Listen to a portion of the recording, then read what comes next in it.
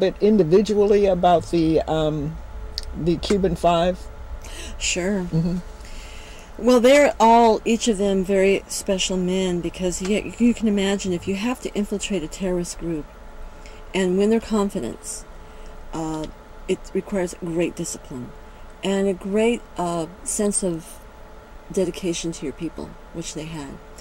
So, for example, Rene Gonzalez uh, is a pilot, and in 1990, he pretended to hijack a plane from Cuba to fly it into Miami because a lot of the terrorist groups in Miami, which you know train with arms in the Everglades and all those notorious images, they have been infiltrated before, and they suspect people who come in and join their group. So Rene flew this plane into Miami, and he became an instant hero when he said, "I want to defect from Cuba. I can't stand it there anymore."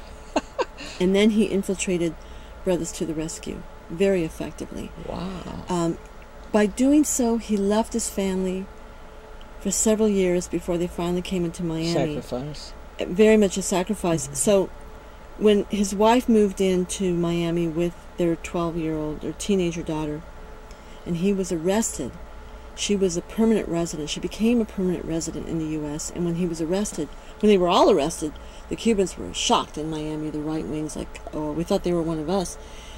But they took particular attention to punish him extra. And they told him, the FBI said, turn evidence against the others and we'll make it easy on you. And he said, no, no way. You know, I'm not going to tell on my brothers because we're on a mission. So they arrested his wife. They were going to deport her from the U.S. as a threat to him. Mm-hmm. And they held her in jail for three months. Their baby was about a year and a half by that time. They had a second baby.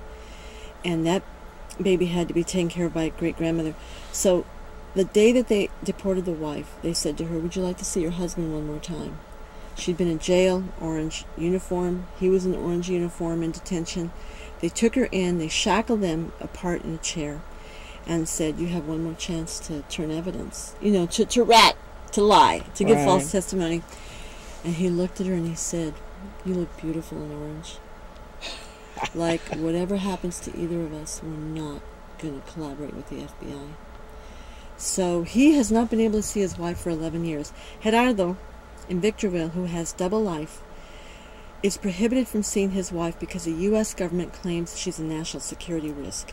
She's a slight woman, you know, works in the scientific field in Cuba, has no interest in coming to the U.S. except to see her husband she hasn't seen him 11 years. Um, you know, they're desperate to have children.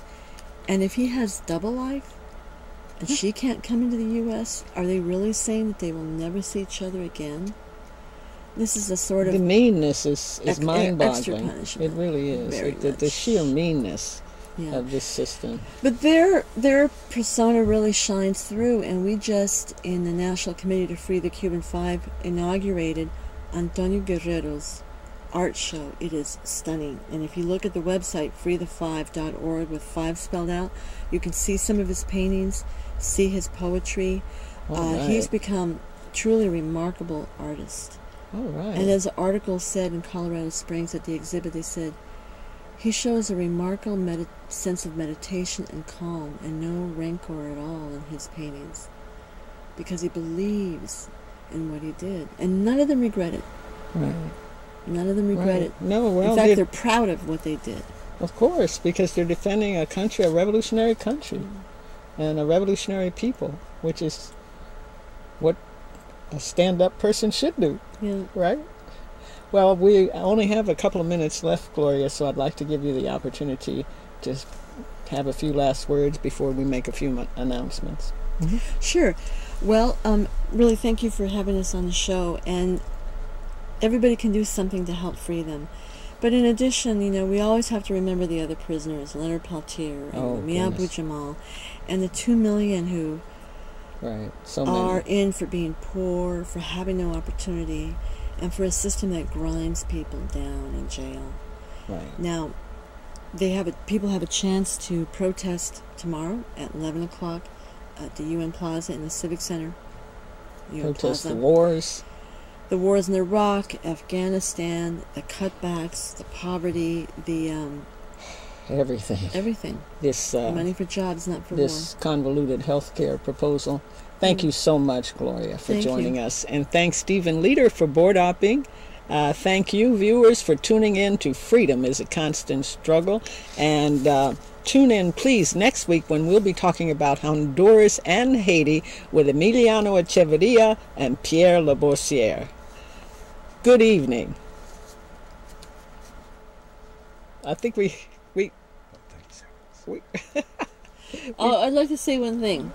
Nothing will change in this country until the people realize it's the people who've always made the change, not a president, Exactly. not Congress. exactly. And the more that we keep waiting for a president to do it, it'll just keep on getting worse until we fight back.